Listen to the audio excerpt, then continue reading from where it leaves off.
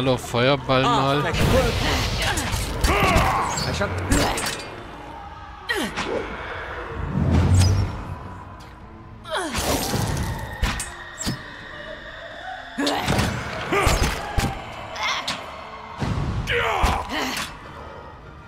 I'm here.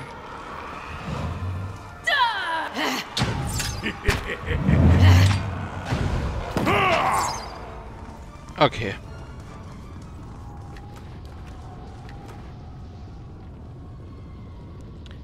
Noch eine bronzene Abedin-Statue. Okay. Noch eine bronzene Abedon-Statue.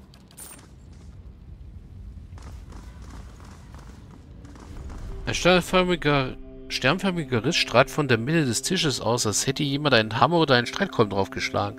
Unter dem Tisch ragen die zwei Hände eines Skeletts hervor. Ja, ganz toll. Geld? Whew, good thing I sold most of my jewelry. It's no trouble. Hope that helps. Schwache Zauberbindung, Spiegelbild und Fernkampfabwehr. Nee. Hm.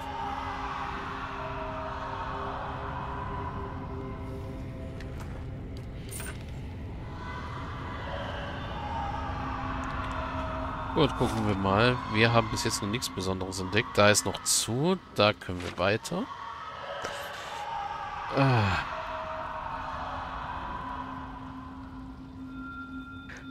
Ich sag's euch. Die Schreigeräusche machen's nicht angenehmer.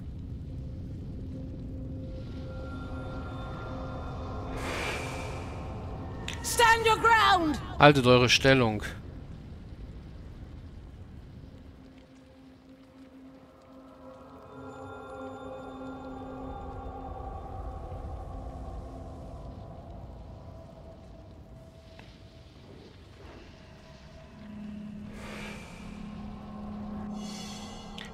Holt unsere besten Rüstungen. Sie müssen in der Hitze widerstehen. They must stand up to the heat. Right away, Master Vasil. Sofort, Meister Vasel.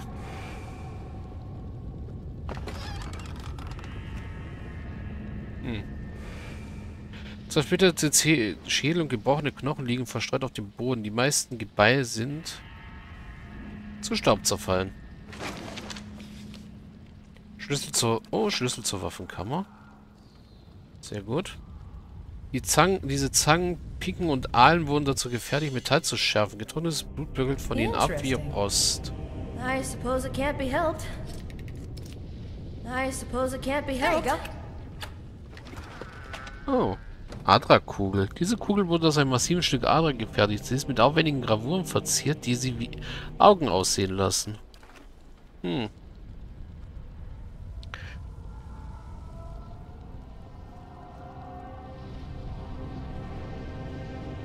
Okay, dann gehe ich jetzt zur Waffenkammer zurück.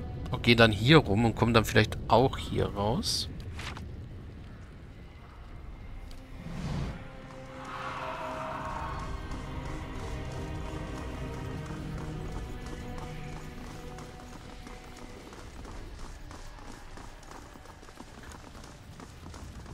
Let's see what lies this way.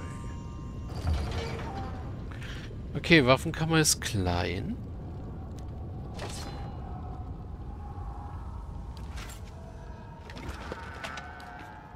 Was vor Reto Dietrich in der Waffenkammer?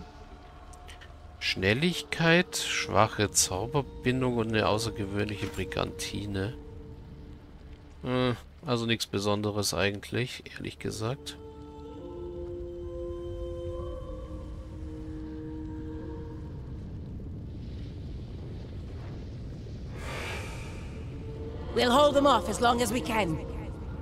Werden sie auch, solange wir können. Irgendwas hat dieses Konstrukt zerrissen wie ein Kinderspielzeug. Ich weiß nicht, sind sich hier wirklich die Zwerge gegenseitig an die Gurgel gegangen oder ist was anderes unter ihnen gewesen? Felsen und Steine sind aus der zerstörten Wand gefallen. Man bräuchte mindestens ein Dutzend am Mauern, um davon nur einen einzigen be zu bewegen. Nebenbei, wir haben... Ich habe die unterste Ebene vom Dürgans Batterie erreicht. Es ist eigenartig heiß hier. Offenbar haben die Zwerge hier unten ihren letzten Kampf ausgetragen. Die weiße Esse befindet sich ebenfalls irgendwo auf diesem Stockwerk. Hm. Die Tür, die nach unten führt, scheint versiegelt zu sein. Daneben befindet sich aber eine Art Steinsockel.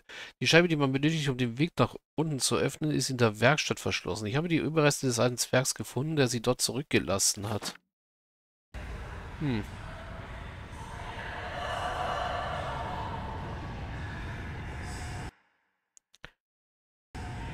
Batteriesirenen und Bittergeister. They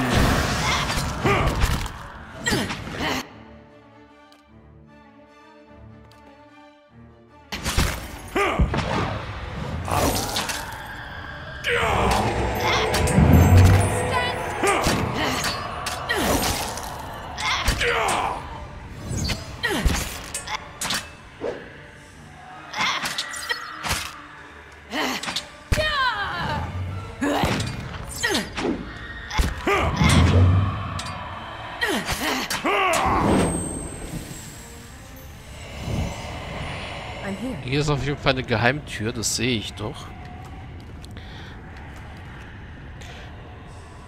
Und ich könnte wetten, dass man hier das Oh. Adra-Ding einsetzen muss.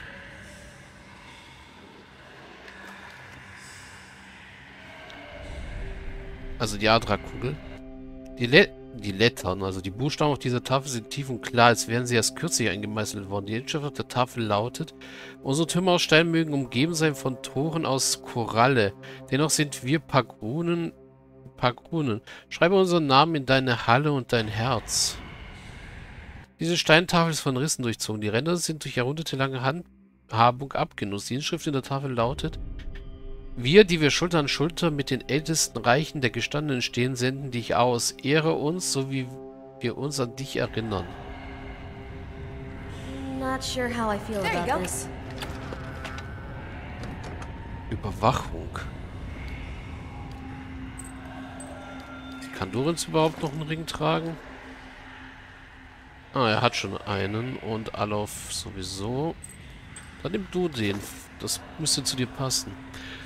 Die Ecken dieser Tafel sind abgeschlagen, ansonsten ist sie aber in gutem Zustand. Die Inschrift auf der Tafel lautet, wir lassen uns in einem fremden und wilden Land nieder, doch wir erinnern uns unserer Wurzeln.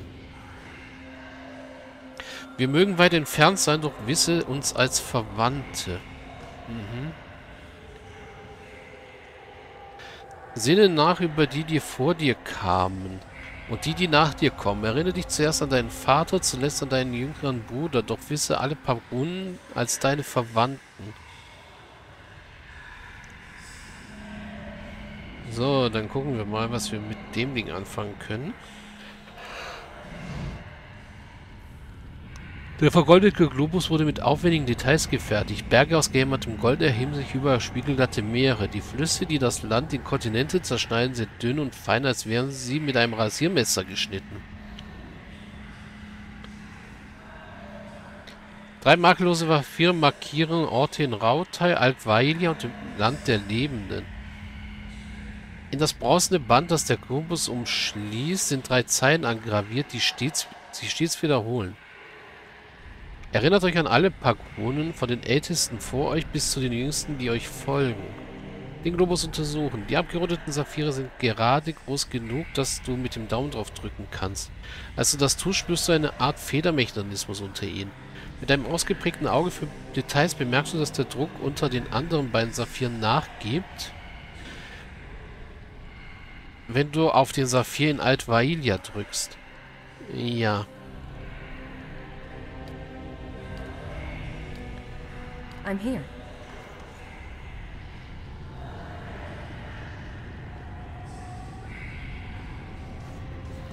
Also hier steht was von Korallen. Unsere Türme aus Stein mögen umgeben sein von Toren aus Korallen. Sind tief und klar. Okay, also das ist die letzte Tafel. Also ist das wahrscheinlich das letzte. Erst an deinen Vater und zuletzt an deinen jüngeren Bruder.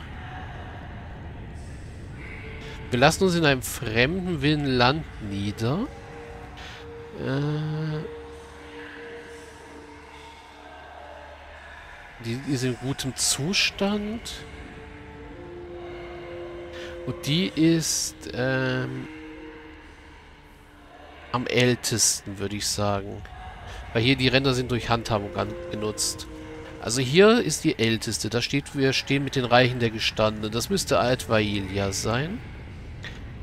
Das hier ist die zweite. Hier steht was von einem fremden und wilden Land. Das müsste das Land der Lebenden sein.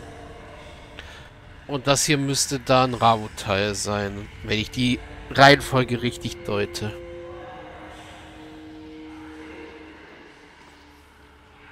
Aber das gibt ja auch hier den Globus untersuchen.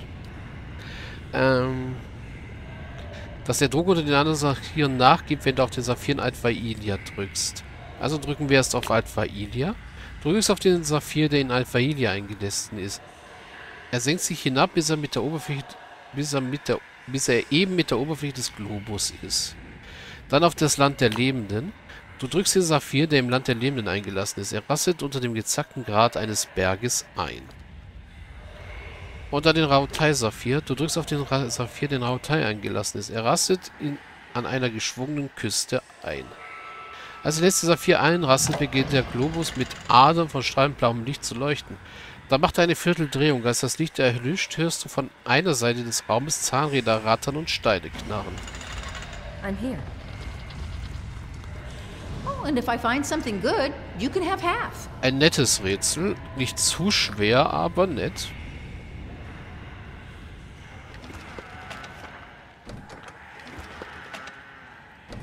Oh, Streitaxt für dich.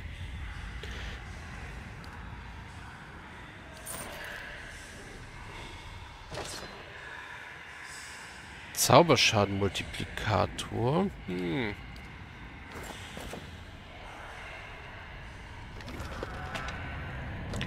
Verfassung, Reflexbonus.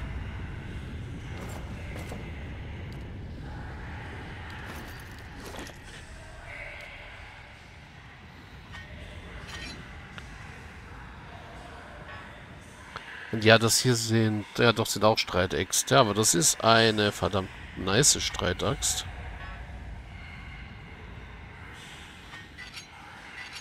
Nehmen wir sie sogar so rum. Hm?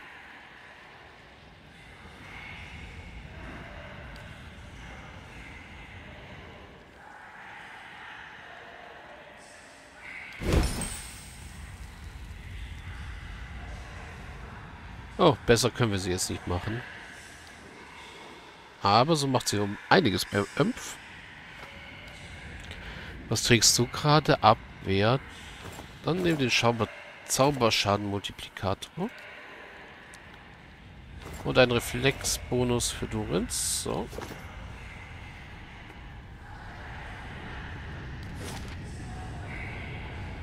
Aber ja, sieht so aus, als ob wir hier rum auch dahin kommen.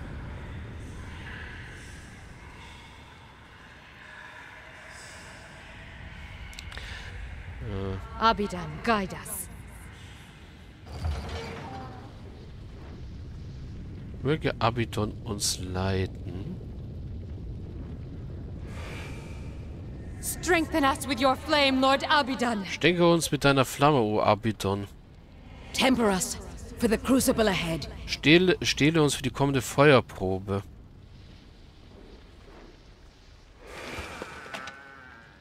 Noch eine Adra-Kugel. Eine Bronzestatue Abidon steht über Weihrauch, Asche und verrostetem Götzen. Okay. Grundsätze und Sprichwörter Abidons. Das ist einfach nur die Bibel hier. Okay.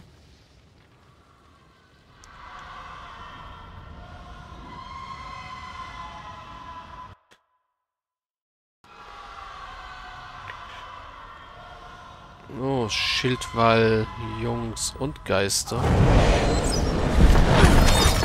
sind auch noch verdammt viele davon.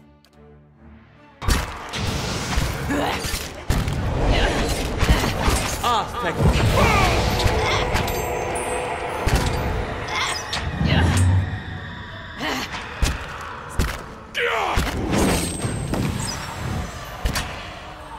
That's